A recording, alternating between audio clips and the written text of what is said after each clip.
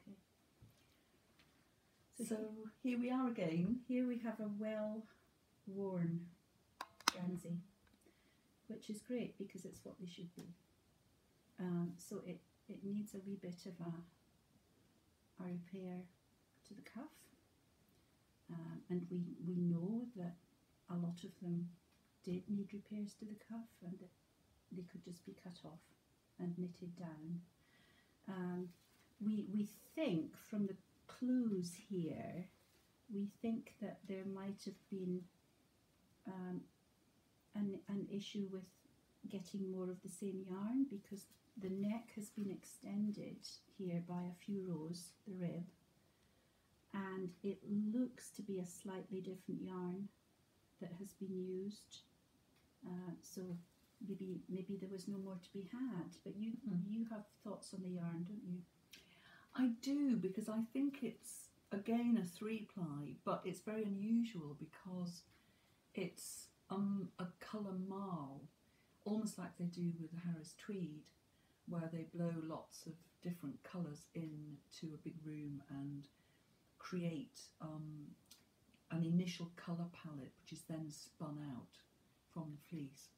And this has got that. And when you look at the mistake, the, the, little rib that needs repair here, you can really see that it's a three ply.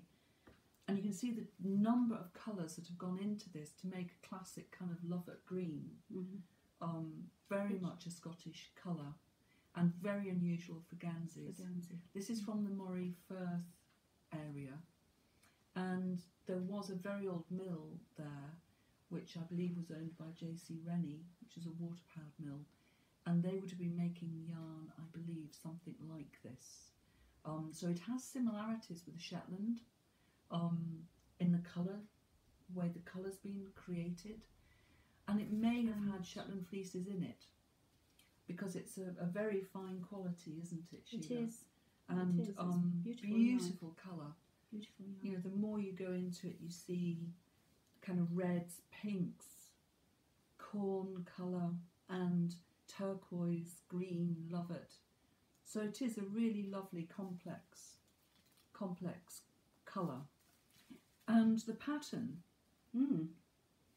is a double marriage line. It's a double marriage line or um, a zigzag, very, very finely done, interspersed with um, two sets of cables running across. So it's zigzag cable, zigzag cable, zigzag cable, separated just by purl, a couple of purl stitches each time. the, the cables. So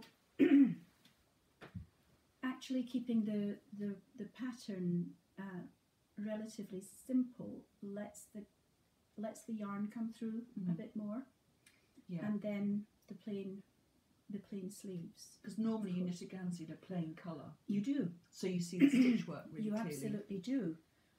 But this time, it's the balance has slightly changed because Yeah. of the yarn that was used. and the knitter needed the wider panels with the stocking stitch to let the stitches pop out more and be Mm. seen. Mm. Um, Mm. But we're we're um, we're very impressed with the way that she has beautiful. used her excuse me her cables, her pairs of cables, which is an integral feature of the Gansey. Uh, so she's used the, the two purl stitches between the cables to lead into the gusset, and it's actually a gusset which is not an even diamond. so the excuse me, the bottom half of the gusset, the body half, if you like, is beautifully framed with the cable with the cables going split up either side, to each side. which is wonderful, absolutely wonderful. Um, and then the sleeve part, because the sleeve is plain, she has basically just decreased and got rid of the gusset She's got rid of it very quickly. quite quickly. Mm.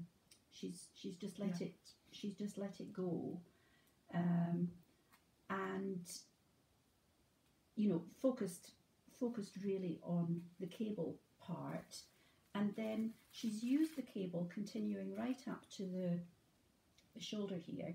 She's used the cable to frame the sleeves, which I love doing. It's, it's something I like doing very much. to make it you know it, it, it just takes it to another level but the thing i find that's um, very telling about the skill of the knitter as well is that she has picked up her sleeve stitches direct on each side directly after the cable And she's not put in a purl stitch. she hasn't put in any she hasn't given herself a safety margin no, she's gone straight into she's gone straight into it and and into knit. And obviously, that means that one of my favourite things, her edges must have been really great. Yeah. Well, yes, Very, something that we very stable. yeah you have to have a very stable. stable edge on the two sections of the Gansey that are knitted on straight pins, not in the round, the front and the back. Yeah, the yoke. Mm. and having a very good tight edge because Yeah. that's where you pick up from. So she's picked up so beautifully. So then the fabric for the sleeve is knit, which creates like the jersey fabric, um, and it comes straight out of the cable without there being an interruption with the purl, which is fabulous. Mm. Really Mm. lovely. the other, the other interesting thing here, um, I mentioned that the net had been knitted on a bit at a different time, later date, slightly different yarn perhaps. Um, Di loves the The buttoned, neck. the buttoned neck. is fabulous because it's in a rib, ribbed neck. But, and I have seen this in other Ganseys, the um, the section where they're going to put the buttons, they have stopped the rib and transferred into reverse stocking stitch on both the front and the back. Garter, Garter stitch garter. garter stitch and they've put their buttonholes into the garter stitch so it it just makes for a beautiful section. And that then runs into the So the, saddle. the, the, the shoulder extension. Well, it's a shoulder extension it's a, it's a shoulder one? extension because and the thing is if if we assume we had a discussion about this. We did. If we assume that the Mm. buttons are usually or maybe not always but usually on the left yeah shoulder. That means that this knitter has chosen to knit her shoulder extensions up from the back coming over the Mhm. front. She has done a form of um, rig and furrow she's done three purl rows on the back. Then she has done maybe eight rows of knit coming over the top where normally there would be another mm-hmm. ridge there but she's chosen she's not to do that. nice and plain it's she's really chosen lovely. not to do that.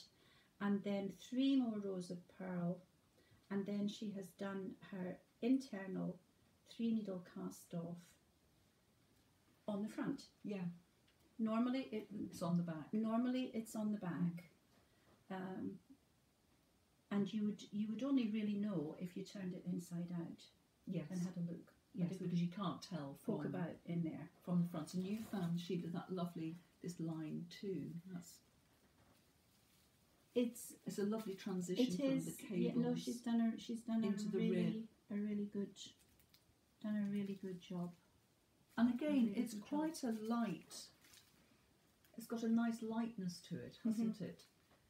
It's do you not think that's something to do with the amount of wear that it's had it will have made it lighter, unquestionably.